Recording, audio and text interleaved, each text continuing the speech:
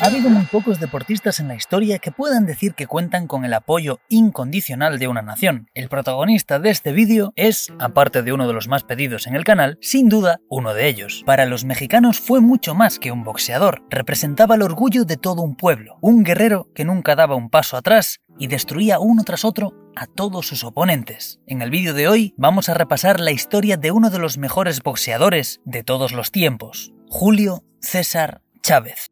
Vamos allá. Nace el 12 de julio de 1962 en Sonora, México, en el seno de una familia muy humilde. Su padre trabajaba como maquinista de ferrocarril y su madre se ganaba la vida limpiando casas y la ropa de sus vecinos. A los maquinistas de ferrocarril, con muy pocos recursos, la empresa les permitía alquilar vagones de tren como vivienda, y en uno de ellos creció el pequeño Julio, con sus, ojo, 10 hermanos. Tuvo una infancia difícil, marcada por los problemas con el alcohol de su padre, la escasez de recursos económicos y la trágica pérdida de uno de sus hermanos pequeños atropellado con tan solo cuatro años. Yo provengo de una familia humilde, lógicamente no, no, no nos estábamos muriendo de hambre, pero sí teníamos muchas muchas necesidades. Por otro lado, sus hermanos mayores eran boxeadores y siempre llegaban a casa machacados de pelear para ganar algo de dinero. Es dinero. Por lo que inicialmente Julio no quería seguir su camino. Afortunadamente para el boxeo y desafortunadamente para su madre, que quería un hijo ingeniero, esta situación fue cambiando con el tiempo y ya en la escuela secundaria le había cogido el gusto a pelear, tanto en el ring como en la calle. Rápidamente destacó por sus habilidades y a la edad de 16 años decide probar suerte en el boxeo amateur. Y empezarán a llover hostias. Vence 14 combates consecutivos, pero es derrotado por decisión en la final de un torneo nacional en Ciudad de México. Chávez, decepcionado y convencido de que le habían robado la pelea, decide dar el salto profesional con el objetivo de hacer dinero y sacar a su familia de la pobreza. Lo único que yo quería en esta vida era ser boxeador para sacar adelante a, a, a mi familia. Porque es lo que un hombre hace. Debuta el 2 de febrero de 1980, antes de cumplir siquiera la mayoría de edad, y rápidamente se hace un nombre en el circuito del boxeo mexicano gracias a su estilo agresivo y contundente.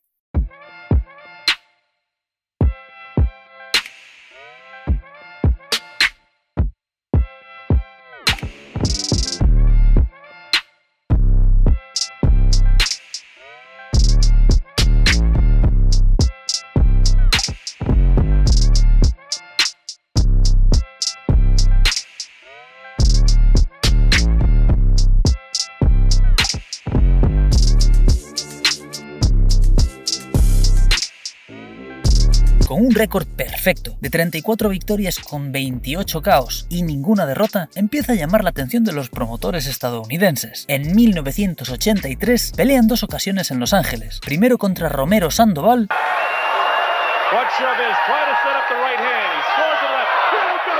y después contra Adrián Arreola.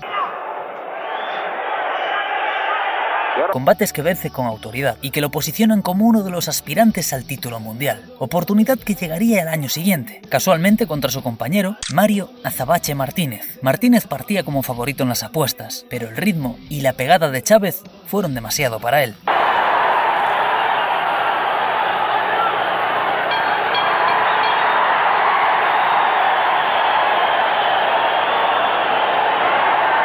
Se acabó la pelea. Al final del octavo asalto, ante el castigo que estaba sufriendo Martínez, el árbitro decide parar la pelea y Chávez se convierte en el campeón superpluma del Consejo Mundial de Boxeo con tan solo 22 años.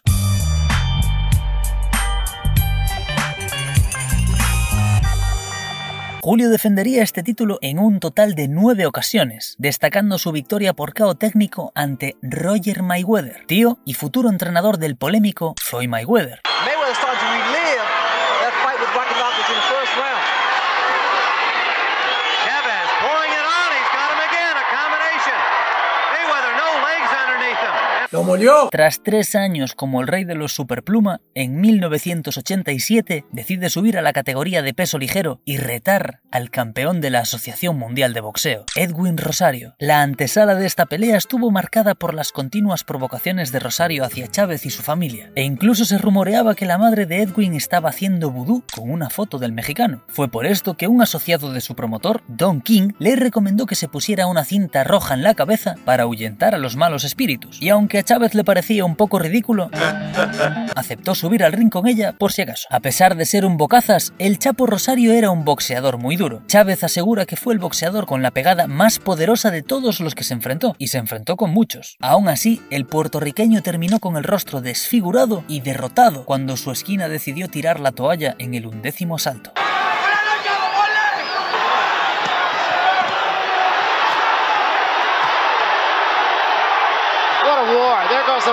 The. What's that? One minute remaining in the 11th round. Come on. Let go.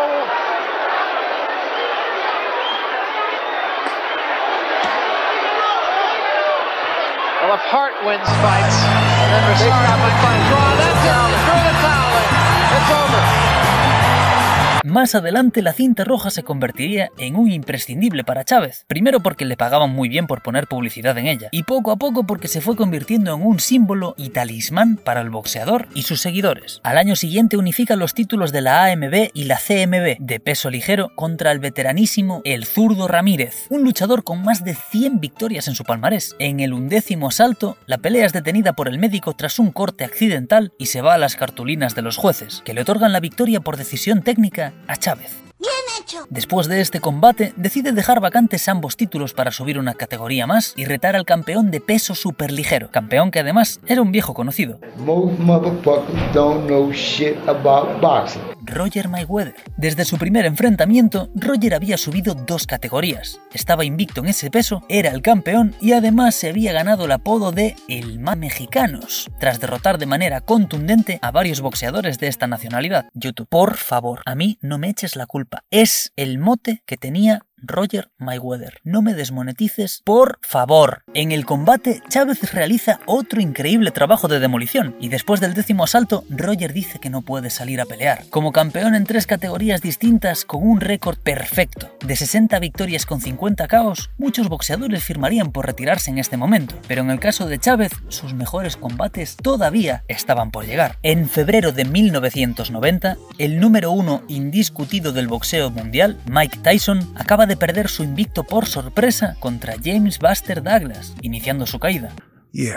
Historia de la que ya tenemos vídeo, que os dejo aquí. Con el trono libra por libra vacío, al mes siguiente Chávez se enfrenta contra el campeón de la IBF, Meldrick Taylor, en un combate de unificación, que además iba a designar al nuevo rey del boxeo. Taylor, medalla de oro de los Juegos Olímpicos de Los Ángeles 1984, llegaba invicto y listo para defender su cinturón por tercera vez, siendo considerado uno de los boxeadores más prometedores de Estados Unidos. Durante los primeros 11 asaltos del combate, Taylor dominó los intercambios con combinaciones explosivas y entraba al último con una amplia ventaja en las tarjetas de los jueces, pero se veía físicamente exhausto y muy golpeado. En el número 12 los intercambios continúan, pero el cuerpo del norteamericano dice basta y Chávez lo noquea con el asalto casi terminado.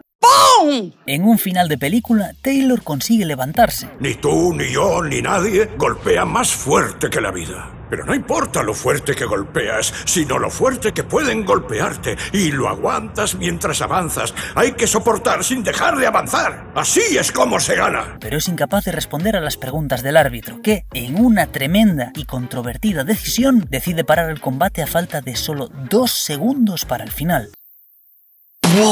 Este combate supuso un punto de inflexión para ambos boxeadores. Chávez mantuvo su invicto y se posicionó como nueva estrella del boxeo mundial, mientras que Taylor nunca llegó a recuperarse de esta derrota. Por su dureza y dramático desenlace, Chávez contra Taylor fue considerado combate del año, de la década y uno de los mejores de la historia. Así que si no lo habéis visto, no sé qué coño estáis esperando. Según Chávez, Taylor fue el mejor peleador al que me enfrenté. Era mucho más rápido y fuerte que yo. Llegué desahuciado al asalto número 12. Sentía que estaba muriendo. Fue un esfuerzo sobrehumano. Establecido ya como monarca absoluto de los superligeros, continúa aumentando su récord de imbatibilidad con 12 victorias más. Se enfrenta entonces al polémico y carismático boxeador puertorriqueño Héctor Macho Camacho, que llevaba tiempo provocando a Chávez y desafiándolo. La pelea iba a suponer un nuevo capítulo de la rivalidad histórica entre dos de las escuelas de boxeo más importantes del mundo, el estilo fajador y agresivo mexicano contra el estilista y esquivo de Puerto Rico. El combate se acabó convirtiendo en una cuestión de orgullo nacional. Bueno, aquí en mi novena defensa, pues realmente fue la culminación de, de mi carrera, porque Héctor Macho Camacho, un peleador pues bastante bocón, ya tenía yo como seis años buscándolo, porque pues había mucha controversia en- en- entre quién era mejor, si él o yo, y aparte de que pues a donde quiera que iba me insultaba y todo, y, y pues los mexicanos, todo México quería esa pelea, quería que, que le diera una paliza a Macho Camacho, y realmente pues fue una pelea, una pelea dura, una pelea difícil, Pero Chávez no da opción. Domina el combate de principio a fin, venciendo todos y cada uno de los asaltos del combate.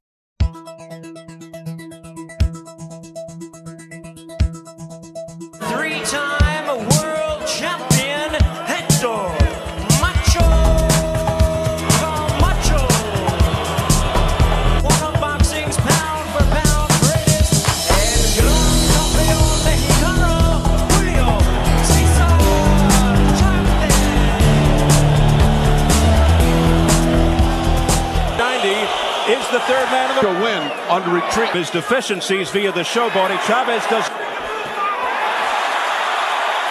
Chavez. Oh, He landed with. He can do damage, especially if he catches Chavez maybe a little over anxious running into it. Camacho looking to try anything. and That eye, really, that left eye. with him, just don't hit me on the side anymore. Uh, I'm only a two-time world champion. What do I know? What do you? And Camacho nearly went down the ropes.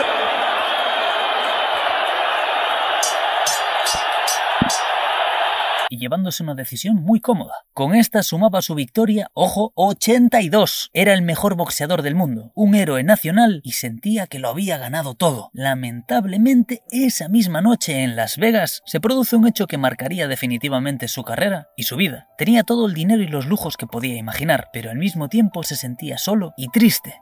hubo descuidos en mi carrera, lo tenía todo y caí en la droga primeramente por, para ver qué sabía. Esa noche tomé cocaína por primera vez y ese fue mi acabose. Empecé y no pude parar. Me atrapó y me llevó a un hoyo muy profundo del que no podía salir. A pesar de todo, el talento de Chávez le permitía seguir brillando aún cuando empezaban a aflorar estos problemas. Su siguiente defensa del título supuso un hito en la historia del boxeo. El retador, un americano bastante bocazas llamado Greg Hagen, puso en duda el récord de Chávez, asegurando que solo había peleado con taxistas y se negaba a pelear en México, argumentando que los mexicanos no tenían dinero para comprarse una entrada. Tenían dinero para comprarse una entrada.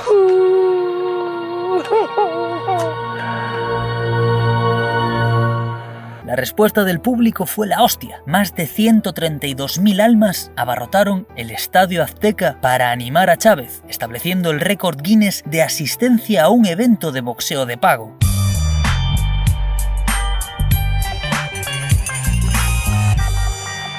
Te meto una hostia. Viva España y viva Galicia, tonto. En el combate, un motivado Chávez destrozó a Hagen en tan solo cinco asaltos, mientras el público disfrutaba del espectáculo. Como curiosidad, en este combate Chávez subió al ring acompañado por Francisco Rafael Arellano Félix, el Menso, uno de los fundadores del cártel de Tijuana, quien por aquel entonces estaba prófugo de la justicia y tenía una orden de captura internacional. Chávez nunca ha negado su amistad con la mayoría de grandes capos del narcotráfico. Conozco a todos los narcotraficantes, al Chapo Guzmán, Amado Carrillo, al Azul, Mayo Zambada, al Güero Palma, a todos los, a los, a los a todos los conozco, ¿me entiendes? A todos, a todos los conozco. Ellos tenían hijos y entonces me mandaban llamar. Y si no iban, y si no iba, Jordi, me llevaban. Entonces imagínate, llegaban dos, dos, dos, tres suburban repletas de, gente armada. Oye, te quiere conocer el patrón. Que vayas para allá. Ay, si no iba. Claro. Pues me llevaban. Pero desde luego, si estás desarrollando una adicción a la cocaína, puede que no sea la mejor idea rodearse de personas que te la pueden suministrar a toneladas. no consumo nada, ¿sabes? Cocaína. No sé, digo yo. El consumo de alcohol y cocaína comienzan a notarse en su boxeo, y su deterioro se hace evidente cuando además enfrenta a otro luchador de leyenda como Pernell Whitaker. El americano domina la pelea con claridad, pero en una polémica decisión, los jueces decretan empate y Chávez conserva su invicto, aunque el castillo no tardó mucho más en derrumbarse. En una defensa del título superligero que se suponía de trámite contra Franklin Randall, el gran campeón mexicano es derribado por primera vez en su carrera.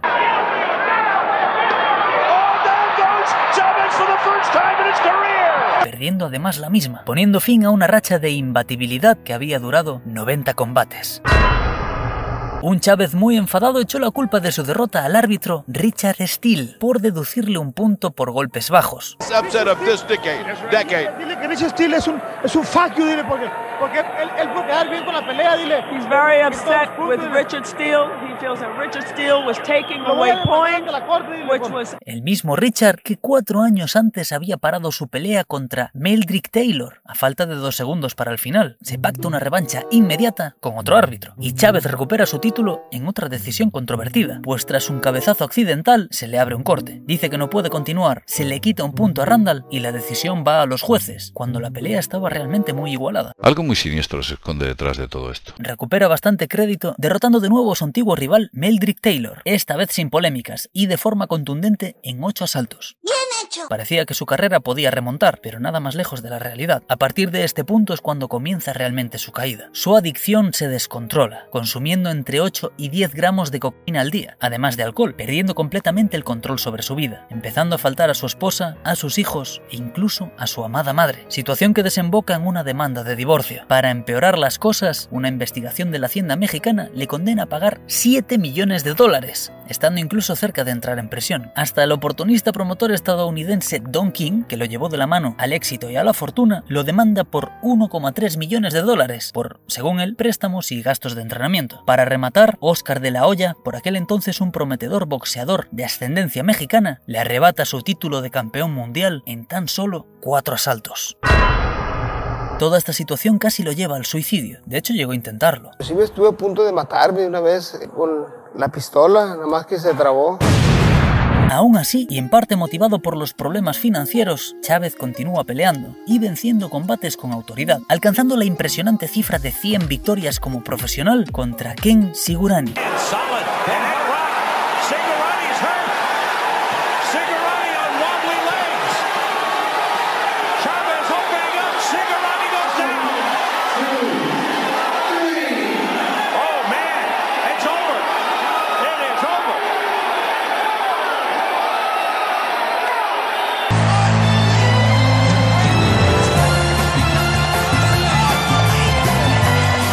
Esto, se enfrenta de nuevo contra Oscar de la Hoya, en una pelea durísima, el castigado cuerpo de Chávez de 36 años, destruido por las sustancias, dice basta, y la pelea se detiene antes de empezar el noveno asalto. Tras esta nueva derrota, todavía continuaría peleando seis años más, alternando victorias y derrotas, quizá la más significativa, la que sufre contra Costia quizá la más significativa la que sufre contra Costia, en su último intento de volver a ser campeón mundial.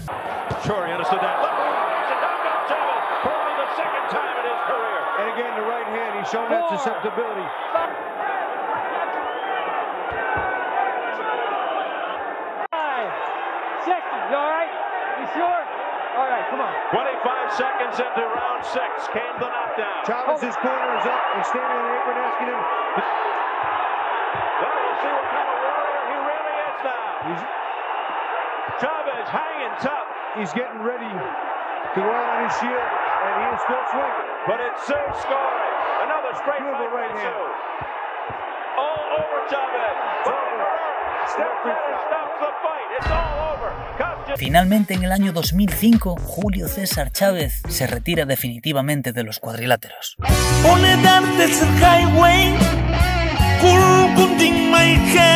Durante sus 25 años como profesional, acumuló un récord de leyenda. 107 victorias, de las cuales 85 caos y solo 6 derrotas. Con 101 victorias puras se posiciona en el número 1 de la lista de boxeo, muy por encima de Mohamed Ali. Sus logros deportivos son una barbaridad. A día de hoy tiene 6 campeonatos del mundo en 3 categorías de peso diferentes. Es el boxeador que más veces ha peleado por el título mundial. De hecho, su récord, si solo contamos las peleas por el título, de 31-4-2. Es el segundo boxeador con más caos en peleas por el título, con 21, solo por detrás de Joe Louis, con 23. Y esto me parece todavía más impresionante teniendo en cuenta su peso. Tiene el récord de defensas de un título mundial, con 29. Es reconocido de forma unánime como el mejor boxeador de la historia de México y uno de los mejores de la historia. Boxeadores de la talla de Floyd Mayweather lo incluyen en su top 5 histórico, al igual que Tyson o el mismo de la olla. Un boxeador de leyenda al que solo pudieron derrotar sus adicciones. En el 2009 fue ingresado a la fuerza en un centro de rehabilitación por su esposa y sus hijos, en el que supuso su combate más complicado. Afortunadamente, a día de hoy asegura que está limpio desde entonces. Administra dos clínicas de rehabilitación, una en Tijuana y otra en Culiacán. Ofrece asistencia a personas con problemas de adicciones a través de la Fundación Julio César Chávez e incluso se ha animado a realizar alguna pelea de exhibición, mostrando un gran estado de forma a sus 58 años. Este ha sido el ascenso y caída del gran Julio César Chávez. Si has llegado hasta aquí, dime qué otra historia deberíamos hacer y nos vemos en el próximo. Gracias por estar ahí, gente.